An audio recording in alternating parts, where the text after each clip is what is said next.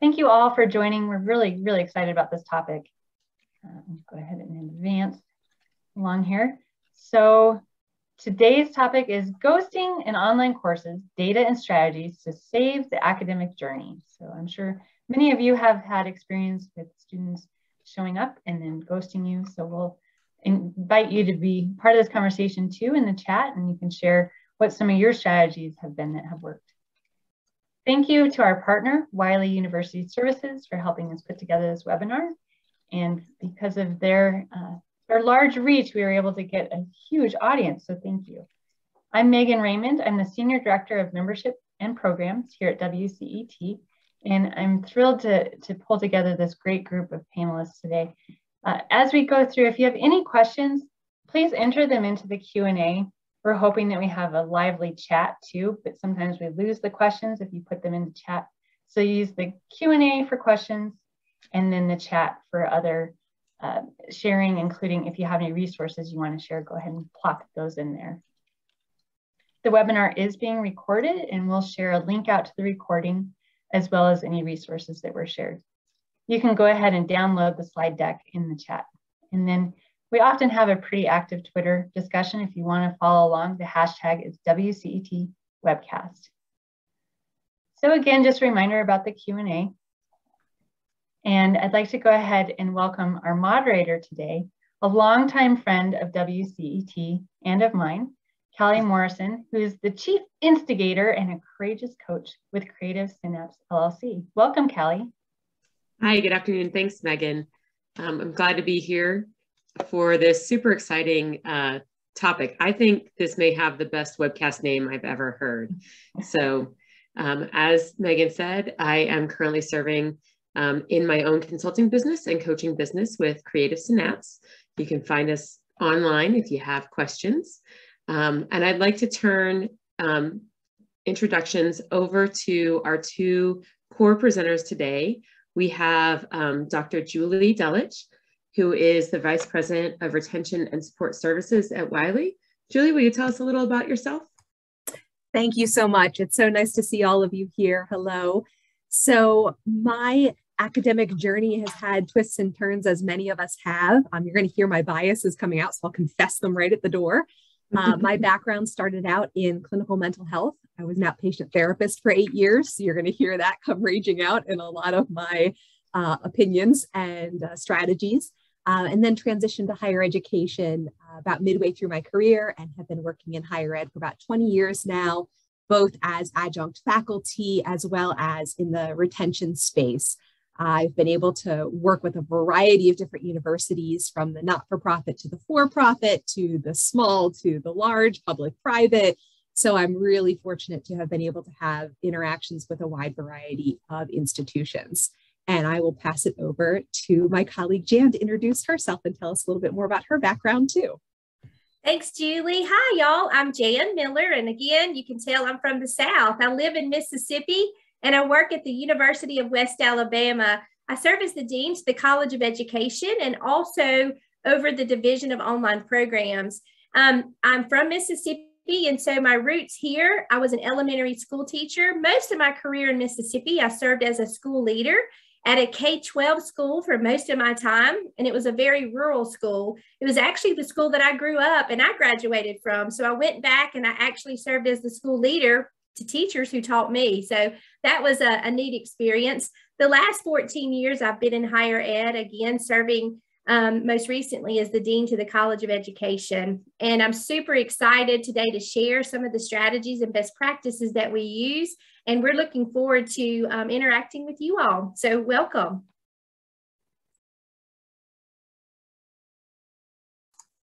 So let's dive right in. Some of you are already doing this on this blustery day in a lot of the country. Um, I'm in Lancaster, Pennsylvania. It's not too windy yet here, but I know it's coming. So I get to see all of you in the Midwest. It's important to create culture when we're in an online environment. So we wanted to model that for you. So if you haven't already, please go ahead in the chat and tell us where you are right now, just like we would want to have our students introduce themselves to each other to start creating that sense of culture. And I keep seeing wind as it's flying by. Oh, I saw Philly, So hello, shout out Pennsylvania. Oh, wow, Alaska, Chicago, Texas. Oh my gosh, there's so many amazing places popping up. This is great. Thank you so much for sharing with us where you're from and seeing the diversity of where everyone's from. Throughout this presentation, uh, Jan and I are going to try to model a lot of what we're talking about. So, oh, in Reading, PA, you're even closer. Hi, good to see you. Uh, so let's go ahead and dive right in with the next slide and start talking a little bit more about the format of our conversation today and what we have planned. So this conversation and this, this presentation was actually inspired by the Ghost Hunters show. I don't know if everybody's seen it. It was on Syfy and I think Discovery picked it up for a little while. But just like in the Ghost Hunters show, we've actually put this presentation into the same kind of three parts that you see. So in the Ghost Hunters show, we um, usually start out by hearing the historical context and the background of the haunted place that they're going to explore. So Jan and I are going to start off by giving you some context and background on the students and the environments that they are coming from. The next thing the ghost hunters do is they start their investigation. So they actually start exploring the space. So we're going to talk about how to investigate your own environments in the same kind of way to hunt for those prospective ghosts in your classrooms or in your programs. And then finally on the Ghost Hunters show, they use innovative technology to catch their ghosts. So they have all of those cool gadgets. So while we don't necessarily have gadgets to share with you, we have innovative strategies to share uh, that we wanted to put into that third category. So it'll be context and background, investigation, and innovation. Those are the three parts to our presentation today. If you are here and you care about students in any capacity, then this is a totally appropriate presentation for you. We know that there'll be people with a variety of backgrounds and areas of focus. So we're going to do our best to uh, give you suggestions that'll fit if you're an educator, if you're an administrator, if you're in the advising department, if you're running and leading programs. So we're going to really try to give you as much uh, breadth as well as depth as we walk through today. Continuing to dive in, on to the next slide, uh, we really wanted to call attention here to the concept that anyone in your classroom has the potential to be a ghost. And we've been measuring this at Wiley uh, and, and at UWA for a number of years of how many students disappear without an explanation. And we've noticed a pretty consistent trend in the past three years. About 23% of our students that are dropping are doing so without any response, without any explanation. And so that's what got us started talking about this topic of what can we do to intervene and start moving those rates in a downward direction and have a better understanding of what these students need. 23% is, is a high number in my humble opinion. And we obviously want to move that down so that we can make interventions based on students' needs and not guess when they're not giving us that information. So moving on to the next section here, we wanted to start off by helping you think about your goals and your intentions as an educator, advisor, administrator, because your goals and what you're thinking about can definitely play a role in the way you can reduce ghosting in your courses and in your programs. So we're going to go ahead and have you do this, and Jan is going to talk through some of what her goals are. So what we'd like to do as we advance to the next slide is just encourage you to write down three goals that you have for yourself in either teaching, advising, or leading a program or a course an upcoming term or semester, whatever context makes sense for you.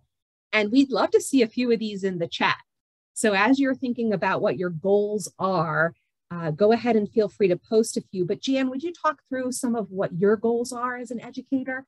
Absolutely. So I teach at the university a lot of online courses. I also teach face to face and hybrid. And so the neat thing is for me, I really find myself having the same goals regardless of the format.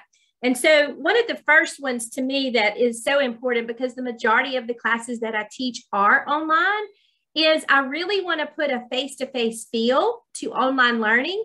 And so I know the more interaction, the more opportunities that I can do that, it feels like the connection is always stronger. And so that probably to me is like one of the most important things. Another thing that I really strive to do, and at our university, um, we really want to treat students more than just a number. We want to recognize them by name. We want to see their pictures, their videos. The more that, again, we can connect, the more we understand who they are and what they are. And so when we see them in real life, you know, we can say, Hey, Julie, you know, and they, it's surprising to me how they'll recognize us even out and about, um, even in an online environment. So that's, that's always very good. Um, also, I think the more personalized that I can be, um, as far as teaching a course, the better. So, one of the first things I really like to do in my classes, um, whether it's whatever format, um, I gather, I create a Google Doc. And so I want to know things like their name, their birth date, um, you know, their cell phone number, an alternative email address, um, those kind of things because I will use them throughout the course. And I will also kind of gather all this information to send e holiday greeting cards. You know I mean? Because you can never, even after the course is done, keep that connection going to the institution is always a positive thing. And so I guess to sum up my really three, the more personalized, the more connections, the more I build relationships, I find I have less ghost in the class. So those would be kind of mine, um, Julie, that I would like to share. Yeah, and there's so much of that echoing in the chat. I'm glancing Good. through, Jan, as you're talking, and a lot about community and connection and retaining students. A safe space came up a couple times in the yes. chat. So there's so much good conversation happening. Thank you for those of you courageous enough to share those in the chat. It's really helpful. The other thing that Jan and I talk to each other about is being transparent about your goals. So, posting them somewhere in your classroom, in your advising environment, really letting students know this is what I'm thinking about. This is my goal for the semester, the course, etc. It creates that level of human connection instantaneously that you're suddenly no longer just the, the voice behind the screen. You're a real person who has your own set of goals and, and things that you're driving towards. Great. And Julie, one thing I didn't mention, and of course, this is um, totally up to everyone, but I always share my personal cell phone with my students. I find they never have abused it, knock on wood, but they can text or they can call, they can leave a message. Of course, they can always email me. Um, and I know now there are so many apps and other ways if you didn't want to, you know, share your cell phone that you could communicate. But I've noticed lots of people are putting communication and, um, you know, I think students appreciate that we're just so open to say, text me, call me, you know, I'm here for you. Um, and so that's just another strategy I wanted to mention. Yeah, I appreciate you bringing that up because a lot of times when we talk to um, faculty and administrators and they're frustrated with ghosting, mm-hmm. their outreach strategy is to reach out within the LMS. Yes. If a student is ghosting you, they're not in your LMS, right? They're not logging in. So the more you can do to have that uh, personal connection, the more mm-hmm. likely it is that you're able to create that connection point when the student most needs it. I appreciate you bringing that up.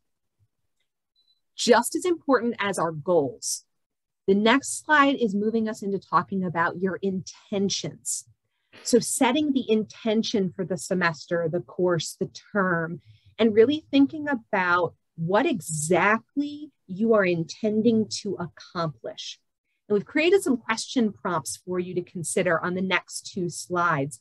On this next slide, it's really more kind of about the tactical of how many students are in the class or on your caseload or in your program. Um, why are they taking this? Is a, a prereq? Is it a course that they're likely to be excited about that has a wait list typically? Um, is it hybrid? Is it completely virtual? What are the tools that you're using? And how much do you know about the students coming into this course? Do you have some of that analytics data about how many of the students are first generation students in the class? How many of them might have um, socioeconomic stressors and that are utilizing Pell Grants to fund their education and really potentially struggling with insecure housing, like those kinds of really intense details. Do you know those? And if not, how can we find those for you? I'm going to go ahead and flip to the next slide, Jan, before you start sharing some of your answers here, because these are the really meaty ones. These are the questions that you get into the what challenges do you typically see students have with this course, semester, etc. Mm-hmm. So I know personally, I'm thinking a lot right now about summer term, right? And last summer, it you know how there's the great resignation going around? Last summer was the great vacation, right? Everybody took off and went somewhere because we'd all been locked up for so long. And we saw students dropping at such higher numbers. Summer's hard anyway for retention. So that's the kind of questioning you want to be doing for yourself. What are the challenges you're expecting? And then challenge yourself to get really analytical about what percentage of students do you expect to ghost? Do you measure that? If you don't, great time to start, right? Of, of how many students are disappearing typically in this course, semester, program. And then where would you like it to be? I mean, obviously, we would love 0% ghosting, but realistically, where do you want to try to get to to show some steady improvement and some difference? So I'll stop, Jan. You share some of your intentions, please, with the group. Absolutely. Thank you, Julie. Um, when you talked about the background of the students, I really think that resonates so well with me. Um, I like to do a lot of icebreakers with my students, and I like to do them even with different modules. But certainly to begin like a new new course, um, I like to do things like you know you're going to Walmart, you're going to buy five things that tell me who you are and what you're about. So you have to list the five items. You have to tell me why you've chosen those and how those, you know, resonate with you. And so those are always so interesting. Students, we usually do this via the discussion board, but students will say, Oh, I really love chocolate too. Or, you know, I've got kids and I'm at the toy section also. So they start making connections with each other really, really quickly. So I would encourage any kind of icebreakers to get those backgrounds Again, I mentioned that Google Doc where I find out, you know, their alternative email address, their cell number. Um, I don't share that with the students. I use it for me, but I'll create a notes section. If someone writes in the discussion board, you know, I'm going to have a baby in two weeks or I'm going on a vacation, I'll put in those notes. And so um, I'll put in my calendar, check on Julie, see if she's had the baby yet you know so it's those little things that again the more you know and the more you make those connections i, I really feel like um, the students appreciate that i did want to mention on the challenges you know we always are going to have students who motivation or participation is not where it needs to be. And so what i try to do is you know the, you can monitor participation um, really through the grade book. I mean that's seems to be the easiest route for me. So if there are missing assignments, um, if I see that they've not chimed in in the discussion board, you know, to reach out to that student individually to say, hey, Julie, we miss you, you know, and if they don't respond to my email, that's when I typically will go to strategy two for me, which is like send them a quick text to say, is everything okay? Um, you know, so so again, having that personal contact information is really, really good. Another thing that I typically do, um, we did this a lot in our face-to-face classes. We would have like in case of an emergency contact person and, and number. Um, but I find even in the online environment, I put that on my Google Doc. So if you know Julie's not participating and she's also not responding to me, I might reach out to you know whoever Julie listed as their contact, emergency contact. So again, trying to go above and beyond is uh, is super important. So those are some things I just wanted to mention. Yeah, thank you, Jan. And again, lots of support in the chat for similar kinds of approaches. Please keep doing that, everyone. As you have a thought, feel free to pop it in the chat. So now we're going to transition a little bit on the next slide, and we're going to continue the conversation to talk about some dirty little secrets in education. And these are the kinds of things that we don't love to talk about, but we have to talk about things that our students perceive to be true, even if it's not true for ourselves as individuals. So before we flip the slide, I want to comment that I know that because you're here, you likely don't buy into these dirty little secrets, but student perception matters. All right, so let's go. Let's talk about the dirty secrets. So a lot of students assume that educators and advisors don't care about them as unique individuals unless we prove it otherwise. A lot of students assume they are a number to us.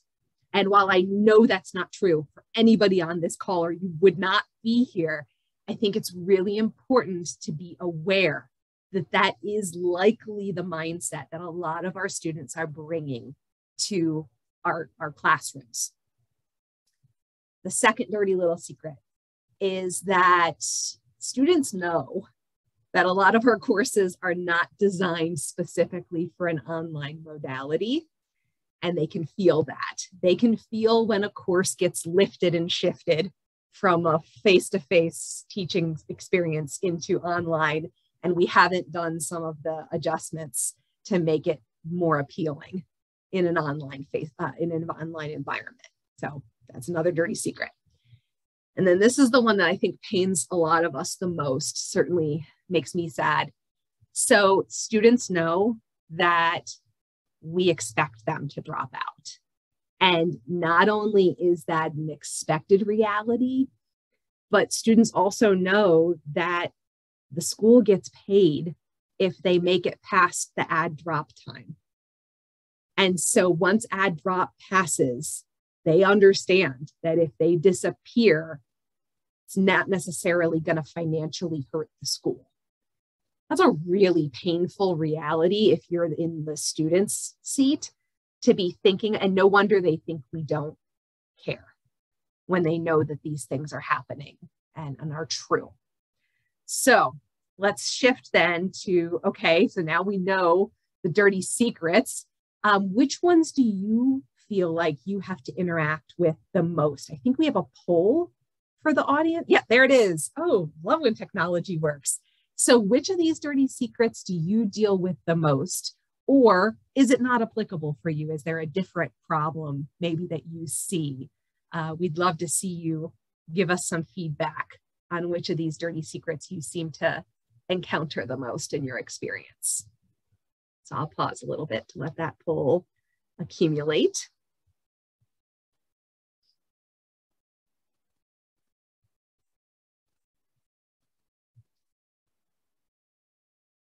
And then folks helping us manage the technology, can we see the poll results immediately or is that something that happens later? I can launch that. Yes. Um, okay. just let me know when you want me to close it. Let's go I'll ahead and let's go ahead and call it. And let's see what okay. the poll results shared for us. Thank you so much, Kim.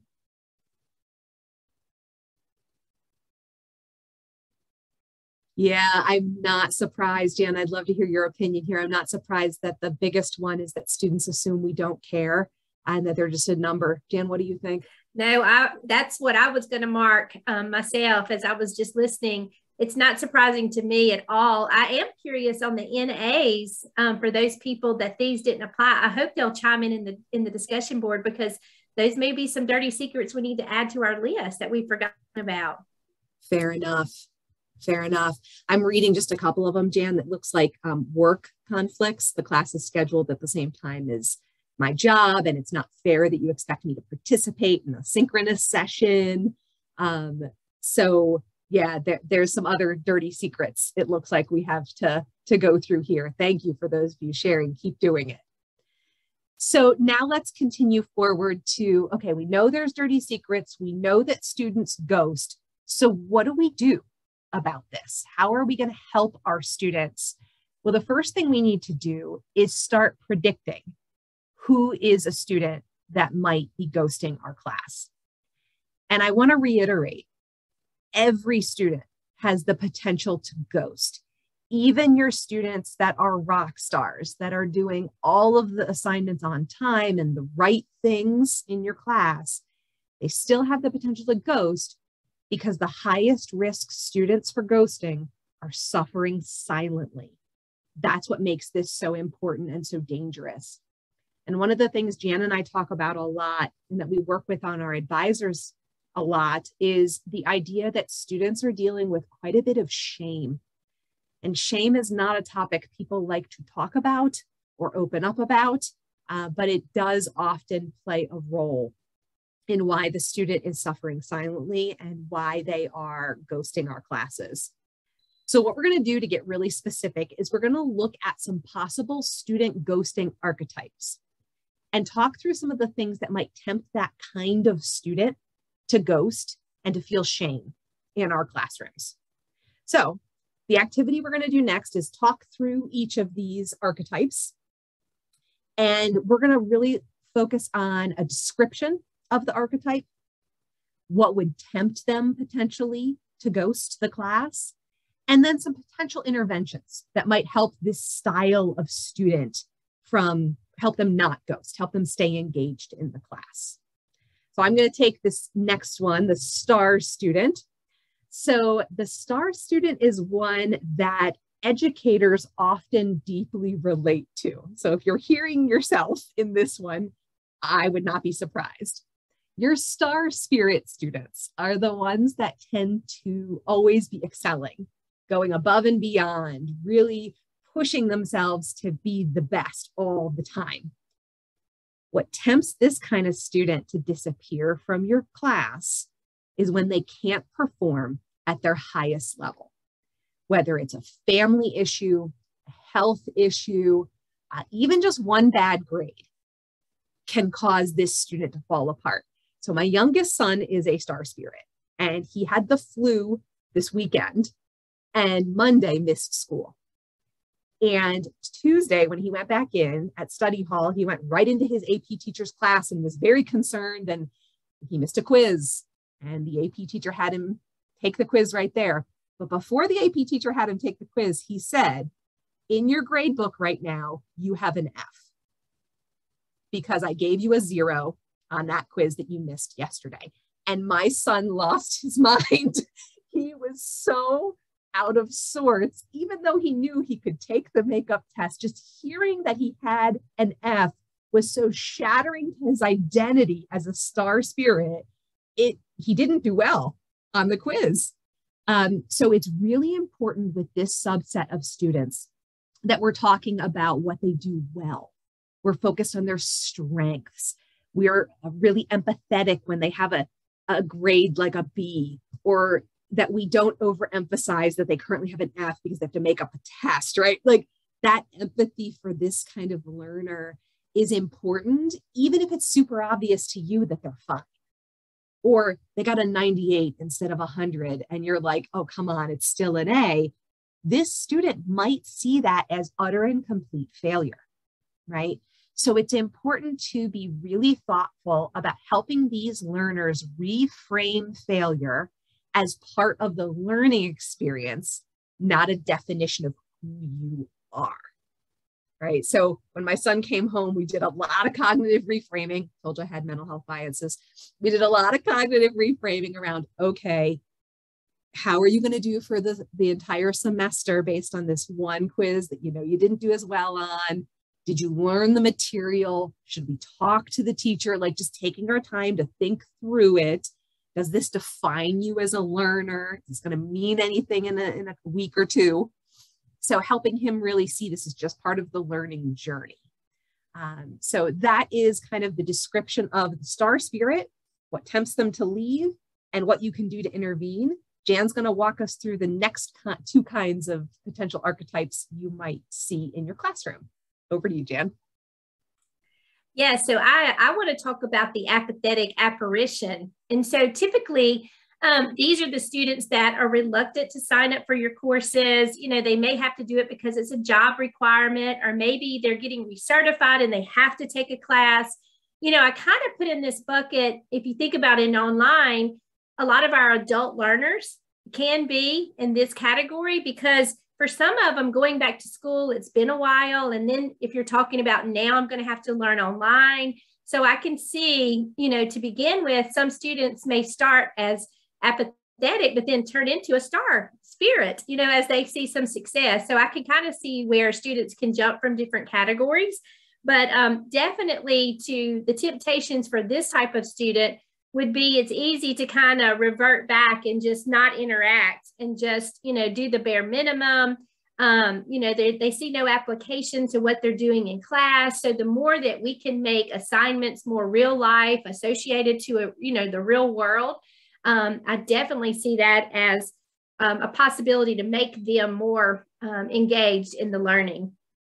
So the intervention for these students is small manageable assignments you know, they've got to believe that they can do this.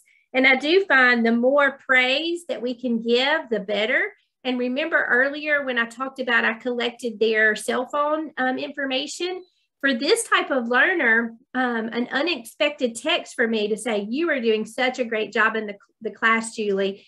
Keep it up. I'm super proud. Don't hesitate to reach out if you need me. Remember, I'm here. Um, another thing that I will often off- offer to these students you know, especially if they're adult learners and maybe this is their first class in a long time, they're a little re- reluctant to send their work in. Maybe writing hasn't been a strength. And so I always say, look, if you want me to preview your assignment before you turn it in for real, I'm happy to look at it. I'm happy to give you some feedback. Um, and that seems to, you know, settle them down a little bit. So again, um, I do stress with this type of student, the more they can plan, you know, don't wait. If the assignment's due Saturday at midnight, don't wait at 11 p.m. to try to submit because that's when the tornado or the storm is going to come through, knock out the power. Um, so, you know, again, pacing is important, but you have to teach this sometimes and talk it to your students, the importance of trying to, to take it little bites at a time. Um, um, one of the things too that I've seen it that I've done in this is so often you can see um, good qualities come out.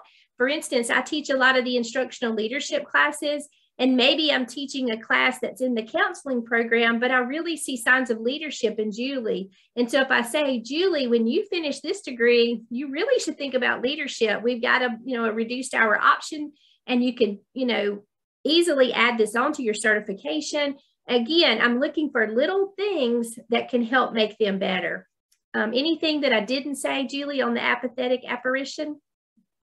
Oh, I think you absolutely described that beautifully. I, I love that you framed it as um, this isn't necessarily a student that's always going to stay apathetic. Mm-hmm, right? Mm-hmm. They could turn into a star if you yes. do. I love that you added that context, Jan. That's yeah, so I definitely can see that happening. You know, they may be reluctant at first, so I did want to mention that.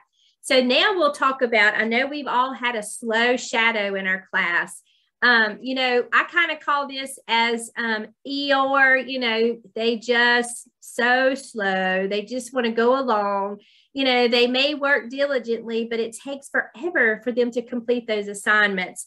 You know, these are the ones that are going to wait, like I said, till 11 p.m. to turn in something that's due at midnight.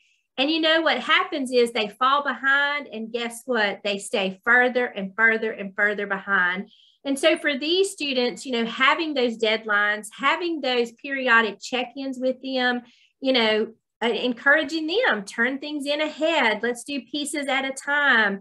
Um, that really, really seems to work. Um, I think too, for this type of student, having flexibility, especially if it's in an online environment, I try to tell my advisors and my professors, you know, because of COVID, we've all had to become more understanding, more flexible. And just because we've always done it this way and grades are always due here and you turn it in right now, you know, I try to encourage my students if you communicate with me on the front end that a family member has taken ill and you've got to help take care of, you know, we all have been there and we understand what we don't like is for it to be after the fact, after the due date. So again, it's modeling on our behalf, it's communicating, it's being flexible. Um, but these slow shadows will probably be one of the first to ghost because they just have a tendency to kind of revert. And so again, staying in touch with um, encouragement and praise will go a long way with these students.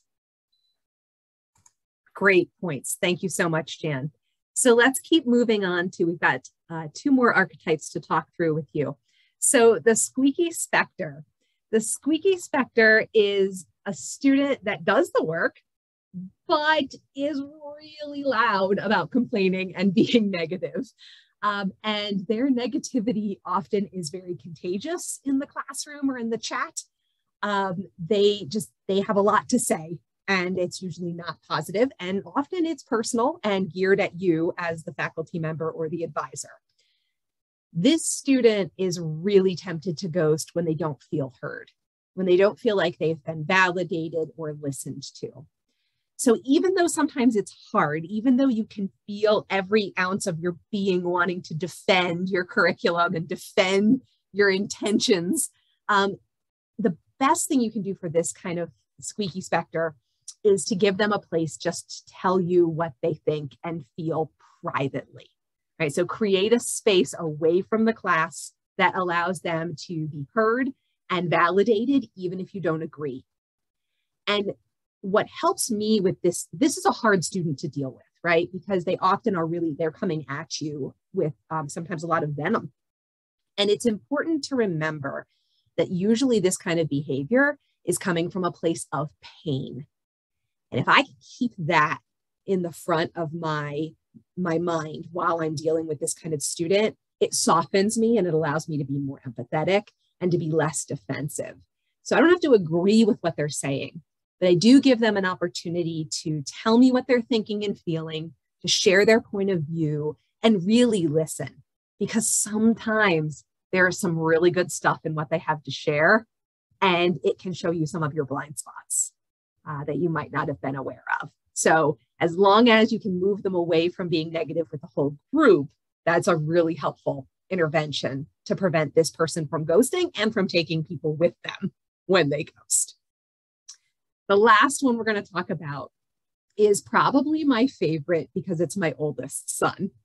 So, and I relate to it a little bit too. So the feisty phantasm is uh, the type of student that might not take your assignment super seriously or your program or course super seriously. They can be very easily off track and distracted, and they have some really interesting, crazy, wild stories that they love to share in the classroom um, online. So, usually, what tempts this kind of learner to disappear is when they're not getting enough attention um, or they get labeled for this kind of behavior. They get called a class clown or a distraction or some kind of la- negative labeling gets assigned to this kind of learner. Um, and yes, there's a feisty phantasm in every classroom where I work, Luke. I see that, I, I feel that.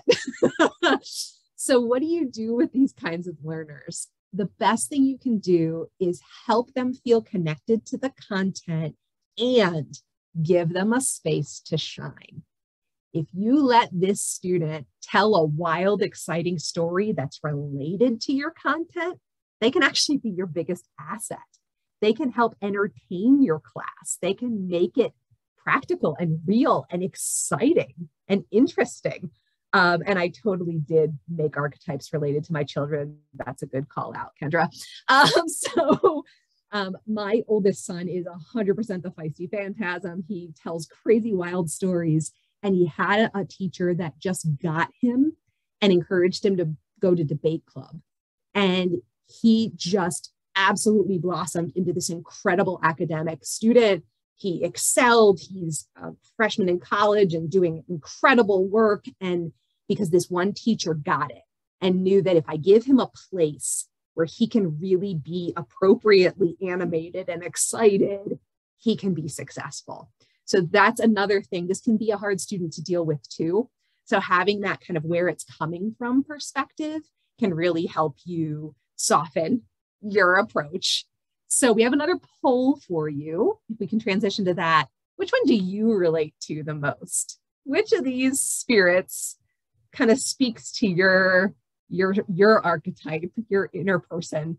Um, now, of course, nobody fits perfectly into any one. We change, as Jan talked about, throughout our journey and our life. But we'd love to see kind of where you fall because we have some ideas around where most educators, I think I already told you that. Um, but I'd, I'd love to see your, uh, your results here on where you all fall. Hopefully I've scattered along enough to give you time to pick one. So let's see our result. Ah, we were right, Jan. we're in a room full of star spirits. So 64% of you connected more with that star spirit, which is exactly what we thought.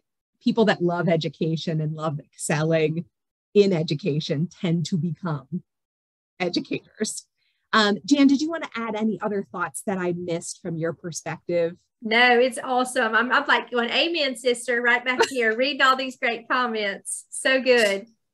Fantastic. So let's go ahead then and start transitioning into the next part of our presentation. So just like the ghost hunters here, we're going to start talking about kind of investigating and getting into more the reasons why things happen and some activities to help with your investigation. So moving into the next slide here, we wanted to just review with you kind of the top three general reasons why students go. So this is across all archetypes, across all student base. So Jan, do you want to take us through those first couple there? Yeah, absolutely. Um, interestingly, you know, we have some smart people on today because they talked about connecting and communication and so many of these things.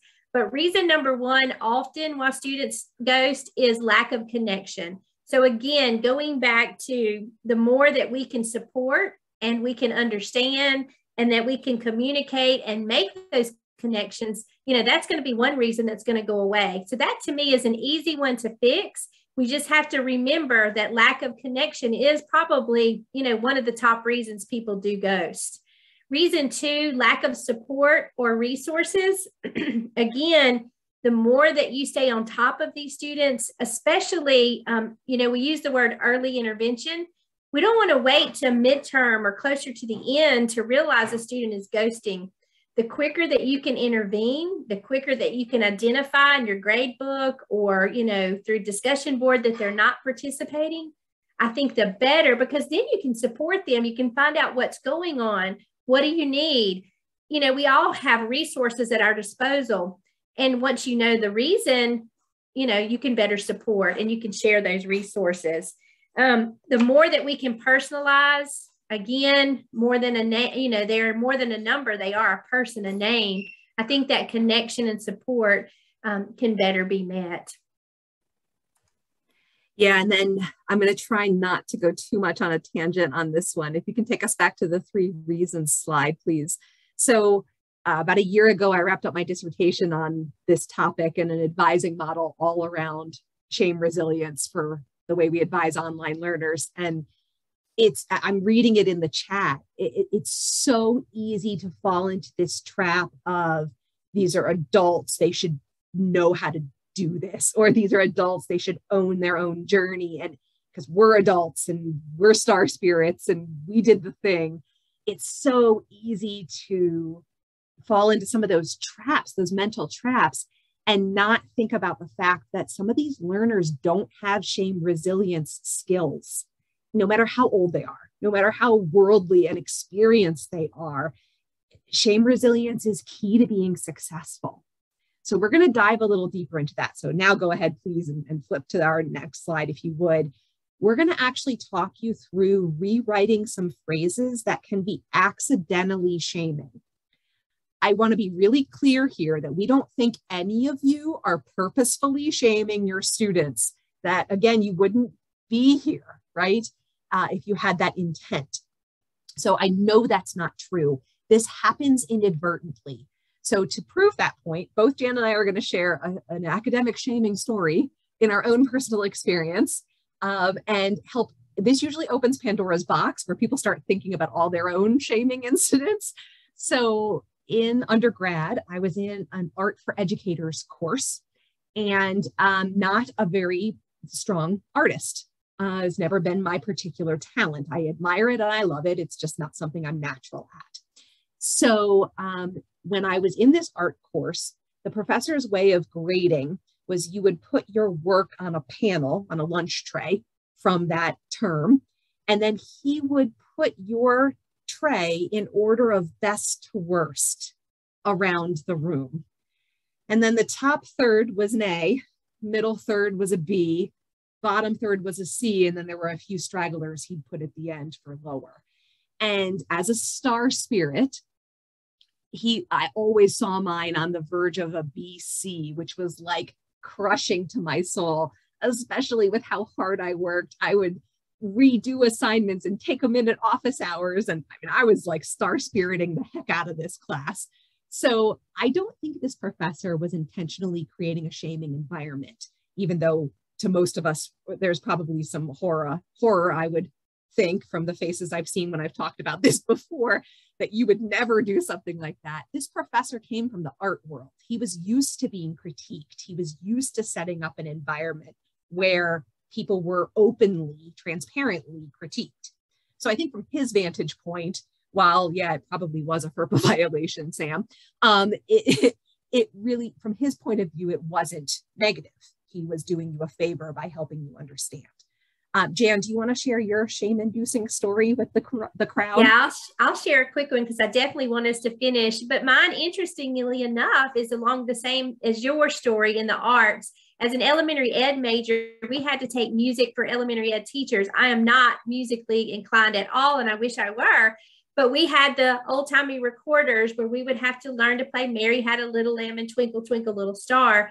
Well, um, you know, we would have to do these individual performances. And I was horrified because he would get on us if we didn't do it exactly right, if we didn't have the beat, the tune. And so I was called out more times than I would like to. And I wanted to take that recorder and snap it and break it and throw it away many, many days. So, yes, I was shamed many times, but along with you, it was kind of in the arts. I don't think it was purposeful. It was because that's in his world, that's how they make people better. So let's go ahead and just do one of the examples on the shaming here. Um, I am going to pick just the middle one for the sake of time, but you can go back and do these on your own. So let's work together on this middle one. The educator says, this program is too hard for you. You should definitely change majors. This, this isn't a good fit. The student could hear that as, you aren't good enough. You aren't worthy enough to be in this program. So let's think for a minute and maybe post in the chat about how could you say the same kind of concern for the student that maybe this program is not the right fit in a way that could be way less shaming to the student. So we'll give you just a minute to contemplate that. Vanessa's got a good one. How are you feeling the course is going? What's working, what's not? Beautiful, right? That's a question that invites a conversation you're checking for the self-awareness of the student. Um, it, it definitely is much more simple. What's drawn you to this major? Great one. I love that. What challenges are you facing with this program, with this assignment? Tell me more about what you see for your future. That would be my favorite one. I love tell me more about, right? It doesn't put the student necessarily on the spot with a why kind of question, believe it or not, why, as innocent as it is, why can be a really difficult word for students. They can perceive that to mean something's wrong, that they have to defend. Uh, let's talk about that's another good one, Cam. Let's talk about your goals. Great. Okay, so you all get this, right? You want to be really thoughtful about your word choices, about the way you're framing things with students so that you can rewrite them uh, in a way that's helping students grow and develop. All right, let's keep on moving. So the next thing we're going to do is talk about some innovative strategies we want to make sure we leave you with before we run out of time. Thank you for all the engagement. It's making this so much fun. This is again, oh my gosh, I'm going to try not to soapbox, Jan. You're going to have to cut me off. Okay, so the five C's are a way of interacting with students that um, I designed as part of the dissertation I talked about earlier and the advising model. They don't have to happen in a linear way. That's why there's all the circles throughout the, the picture here. But it's all about connecting with students on a personal level, creating a vision for the future with your students, challenging your students to think differently. So if you hear a thought that is dysfunctional or maybe not accurate, challenging the student to cognitively reframe it, to think about the evidence and the helpfulness of their thinking collaborating with your students so that they are doing parts of the journey that they're responsible for, and you're being clear about what you're doing, and making a personal commitment to helping that student with follow up action. So the student has follow up, they're committing to take steps A, B, and C. And you, as the educator, the administrator, whoever, take ownership of doing steps, you know, X, Y, Z uh, for follow up and committing to those steps. Again, in the interest of time, I'm going to keep plugging away to the next strategy. Proactive outreach. Jan talked about this. Don't wait. Don't wait till they're in trouble. Reach out before the students are struggling. Make those connections early. Use those five C's frequently. And that's part of what you do to create a safe space for students is use those five C's. And then the support plan is an individualized approach it's not a deficit model. It's not an at risk model. It's a how can this student gain more support in a place they need it. So Jan is going to, on the next slide, walk us through an example of a potential support plan you could build. Yeah, and so, you know, you can take this template and tweak it for yourself. But, you know, let's just say I've got five students that I know they're, the, they're in the slow category. And so I come up with a plan. I'm going to meet with Julie and Jan and Tim. I come up with a plan and it's individualized, but you can kind of categorize your like students together. And um, the more that we have a plan, I think the better that we're going to meet their needs. When we're intentional and they know we care and having a plan, um, it just always works best. Absolutely. Thank you so much, Jan. So let's wrap it up with a conversation about some best practices and some trends that we're seeing. So we wanted to talk through just three best practices on the next slide with you. Uh, Jan's going to talk about the first two. I'll cover that last one. Yeah, so long lectures are out. We know that. We tend to tune out. So smaller is better. And this, um, you know, when you can do bite-sized content, it's always best. So always keep that in mind. We've said this from the get go be proactive. Outreach to your students is essential. The more that you can check in, and often it's key. And then finally, we've talked about connection. They want connection with you. Students also want connections with skills that lead them to employment, right? And or mentorship. Um, one of the, uh, Jan and I work with another uh, organization called Mentor Collective. If you haven't heard of them, they're phenomenal. They have a really great algorithm with matching students and mentors that we've seen some cool retention results from uh, based on tons of research, really aligned with everything we're talking about. But you can build that into your curriculum and your advising too. How does the course link to a career outcome, link to mentorship opportunities? All right, I'm, I'm trying to speed up my, my talk. I know you can see some of our chat in the um, between the moderators about trying to wrap up so we can get to your questions. So general conclusions, make ghost hunting part of your prep process. Do the goal setting, do the intention setting, think about what you're going to anticipate seeing, measure it, really put some intentionality behind this. We know you're busy, but add it to your prep. Um, we talked about posting your intentions somewhere your students can see. Seek out support from each other. I don't know if y'all are following the chat. It is amazing. There are some incredible comments flying by um, and some of the support that I'm seeing you all give each other. There are people that you can connect with right in this particular webinar. So exchange info, stay in touch, create a support network of people that understand what ghosting is and have the same kind of mission you do to overcome it and help your students. And then we'd love to hear more. So we have an email that if you want to send us some of your best practices or your stories, some of the stuff you've sent in the chat, feel free to send this email. Um, and we have a hashtag. So if you want to stop student ghosting as a hashtag, if you're posting anywhere, please feel free to do that. We'd love to follow your ideas. Okay, I tried to talk as fast as I could, moderators. Do we have time left? For some questions? We do, and we have quite a few questions. So um, those that we're not able to answer during the live session, we will um, type up answers and share those with the uh, recording of the webcast. So I want to start with the first one, um, which was where do the student profiles and the data for this presentation come from? Uh, so we created the student profiles ourselves. Uh, the data comes mostly from uh, Wiley's experience with about 60 different universities uh, that, and Jan and I have worked together specifically on the students of UWA, but the data itself that we collected to design this comes from the Wiley portfolio of schools. Thank you.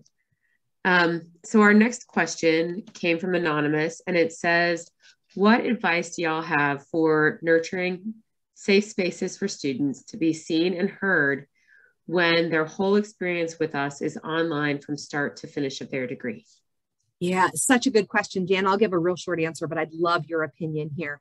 So, anything you can do to give them opportunities for face to face or synchronous connection, um, even if it's outside of a requirement, is really going to help create that safe space, particularly if they have something that's personal that they want to share with you. Uh, Jan, please go ahead. This is your so, um, Absolutely. Um, we try to use video a lot. And so we have um, class sessions. We say if you can join, join. If you can't, we'll record it. But even in the um, discussion board, we'll have students to do videos introducing themselves. And so what I find, students start making connections within the class. And so it's not always, as you mentioned, Julie, you know, the responsibility on me. I find students when they see kind of the tone they start supporting and reaching out to each other too, even those students who they see are ghosting. Um, so, but that, but the more that we can make it feel face to face and that interaction is key.